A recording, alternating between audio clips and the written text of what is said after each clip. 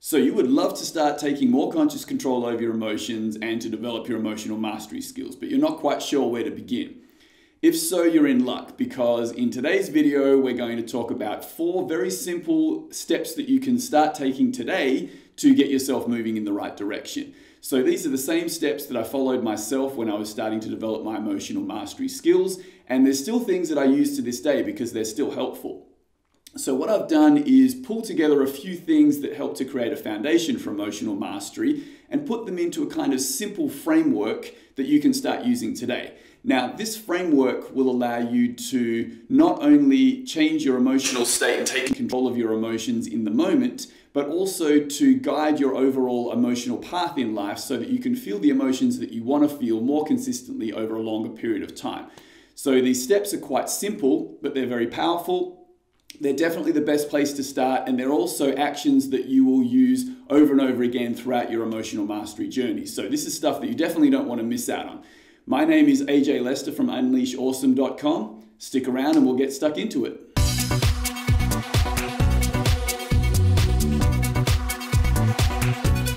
All right, so the first step I've actually called step zero, and the step is to increase your emotional understanding. And the reason that I've called it step zero is because not everyone is going to need to do this. And so if you find that you're the sort of person that doesn't need to do this, then feel free to skip straight through to the next step, which we will call step one. Now, basically, what we're talking about in this step is to develop your understanding of emotions in general. So, all the different kinds of emotions that it's actually possible for a human being, such as yourself, to feel.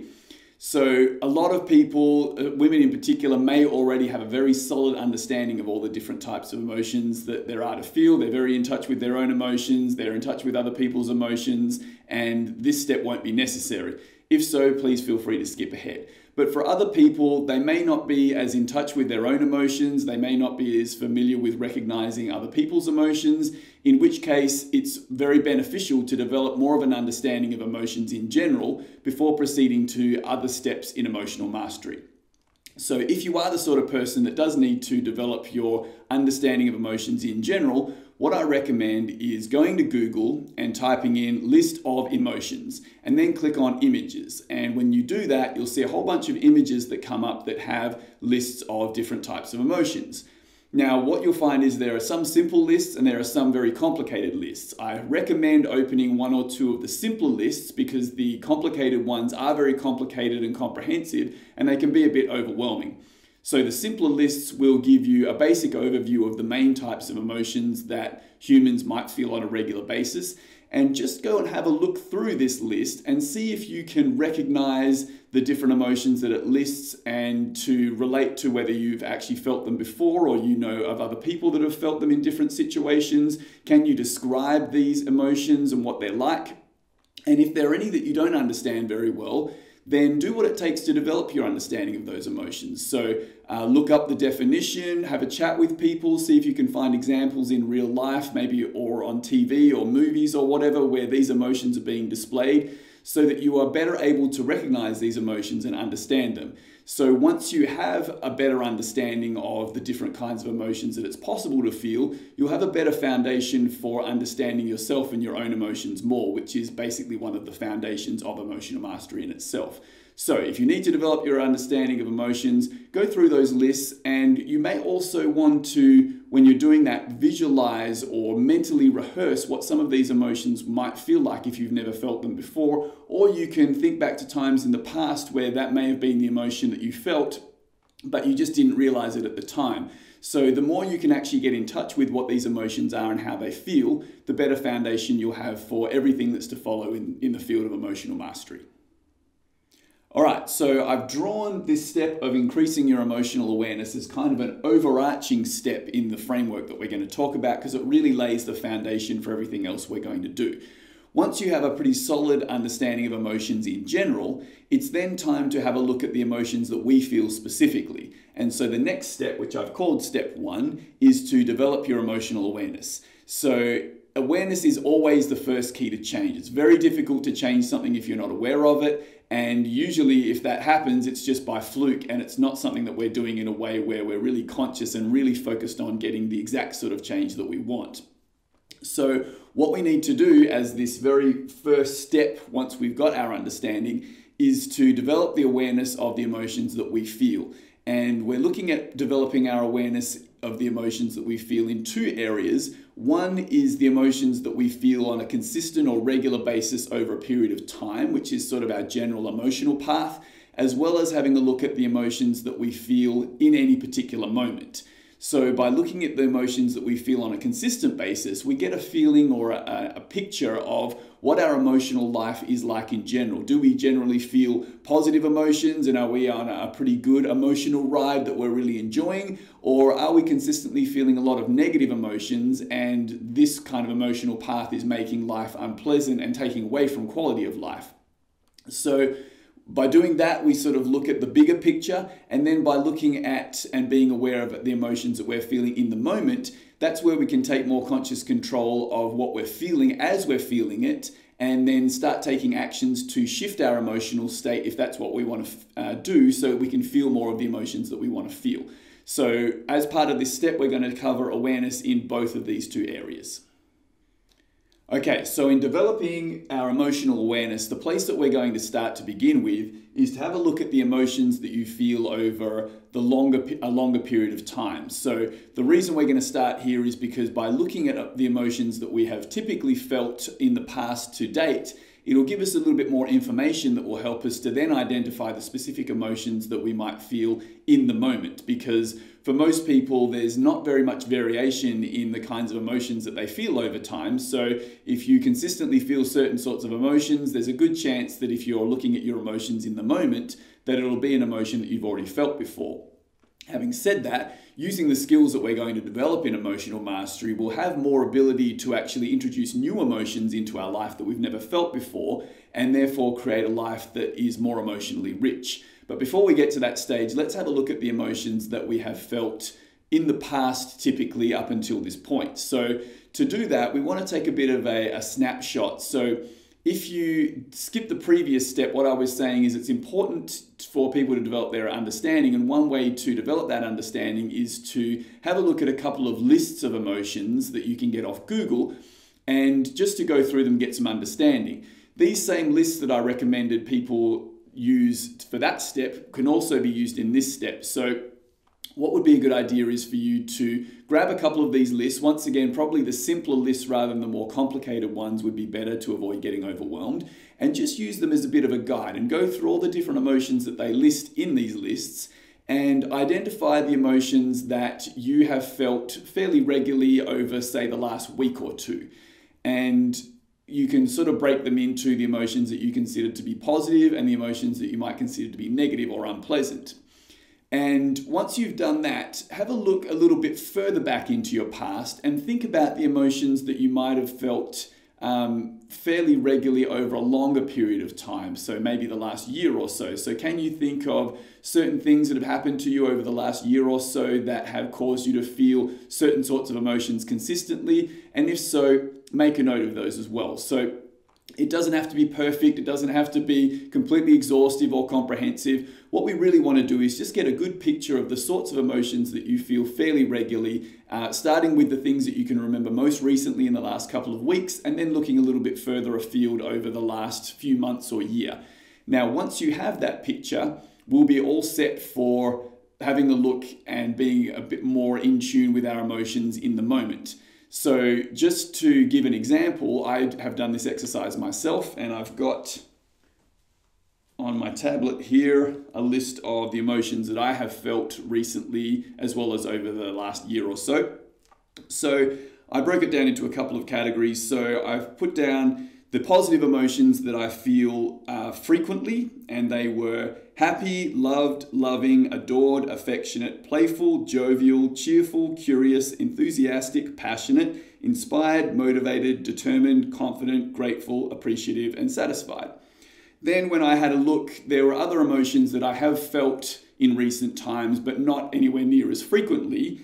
Uh, and those have been things like excited, appreciated, joyful, uplifted, invigorated, compassionate, optimistic, hopeful, pleased, glad, fascinated, peaceful, proud, relieved, reassured, impressed, and fulfilled.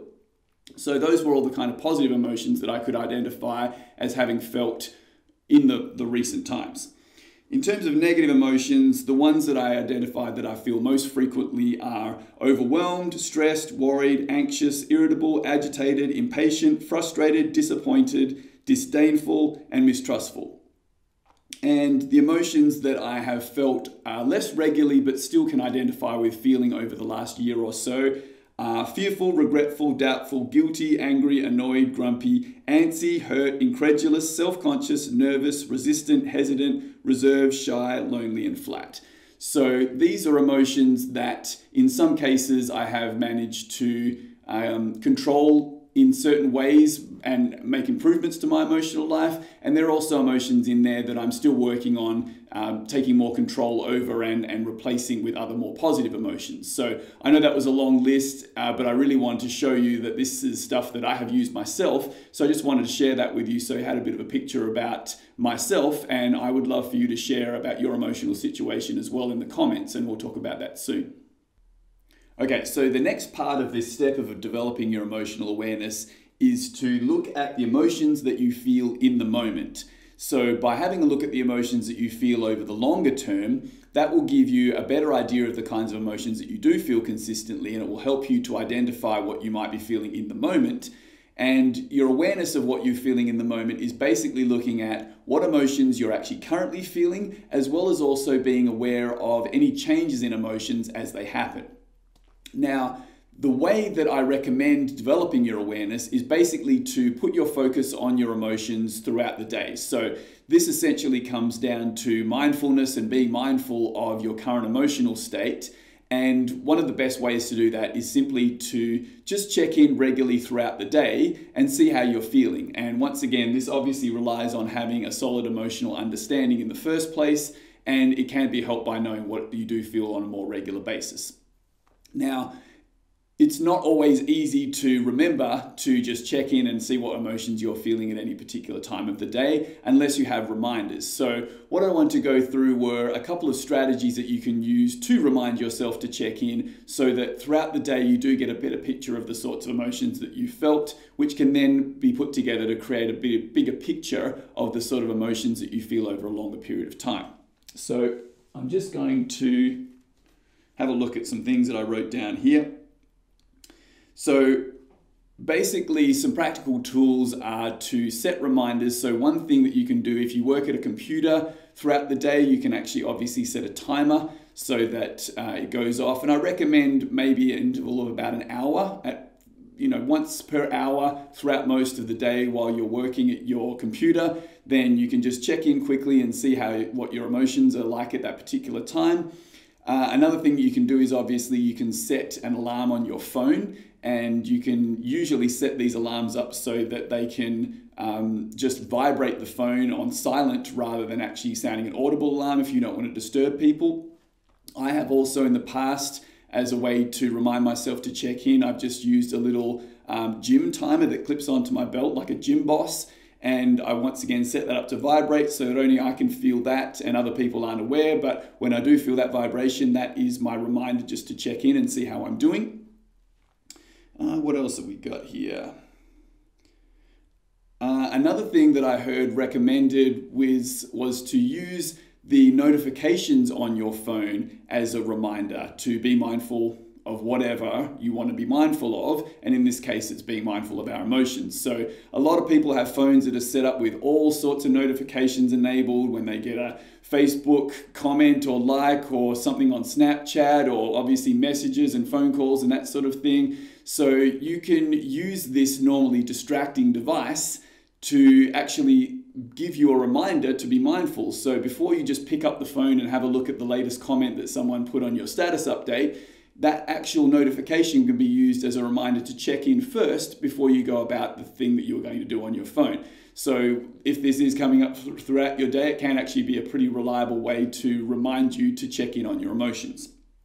Uh, another thing that you can do is to put little reminders in your environment. So, you could put little notes in places or little objects that remind you to check in. One problem that I found with that though is that if you leave these things in one place for too long, they eventually just become part of the furniture and your brain filters them out and you, they don't actually serve as that reminder. So if you are going to use objects in your environment as a reminder, to make them more effective, I recommend moving them around or changing them pretty frequently so that they do actually look like something new that your brain is going to pick up and use as a reminder. Uh, another thing that you can do is establish reminders due or that are related to certain actions that you might take. So, for example, walking through a particular doorway or walking through any doorway at all. Uh, maybe it's sitting down to a seat that you regularly sit down to or standing up from that seat, getting into or out of the car, going to the toilet. These are all times where you might actually you know normally not be thinking about it but if you actually focus your attention on using that as a reminder every time you perform that action throughout the day it can also be a signal for you to check in and see how your emotions are going.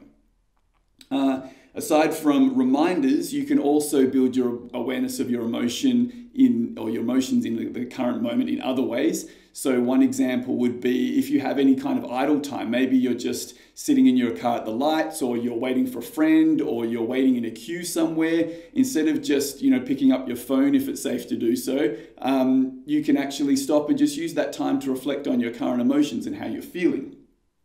Um, when anything new happens just like with the phone instead of just immediately reacting to the new thing that's happened just take a moment to pause and reflect on the emotions that might have come up for you as a result of that new thing that's just happened uh, another thing you can do is at the end of each day, you can have a debrief on your day. So you might just do some personal reflection where you have a think about the day, the things that happened, the sorts of emotions that you experienced.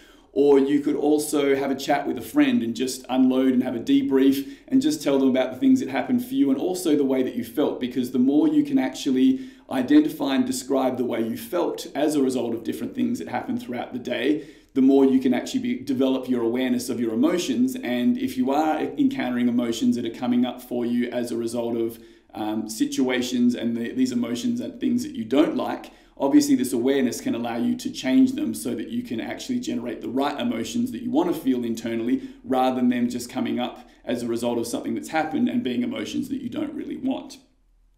Okay.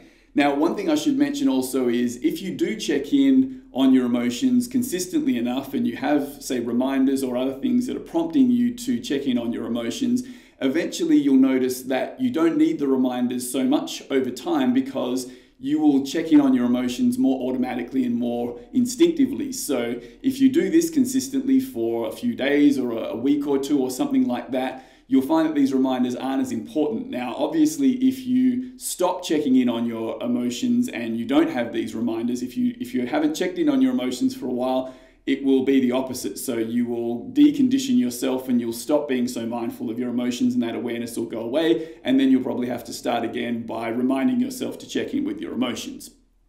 So a couple of other points that I wanted to make is that your awareness can also then be magnified if you do a couple of other things. And some examples are basically just tracking your emotions throughout the day and throughout the week. So you could use an Excel spreadsheet where you basically just have the time and a quick description or even one or two words about the current emotions that you're feeling, or you could even do this with a Word document. Um, you can use an app, and there are plenty of different um, apps that are out there, whether they're emotional apps or more general apps that you can use to actually track your mood and get a picture of how your mood changes throughout the day, which obviously increases your awareness. Uh, and you can also journal, which is obviously a very powerful technique for a lot of reasons and it'll help you to achieve a lot of other things as well. But if you include your emotions uh, that you felt throughout the day when you are journaling, that can bring more awareness to what you're doing as well. Now, when you are checking in on your emotions, it's as a very minimum, it's good to just identify what emotions that you're feeling. But if you want to go into a little bit more depth, you can also look at, you know, what does that feel like? Is it pleasant? Is it unpleasant? Is there a physical sensation that goes with that emotion? So are you actually feeling it in your chest if it's some sort of stress or or embarrassment or something like that? Do you feel it in your heart? Do you feel it in your stomach? If it's um, excitement, same sort of thing. You know, do you have butterflies somewhere? So, are you actually feeling a, a physical sensation with that?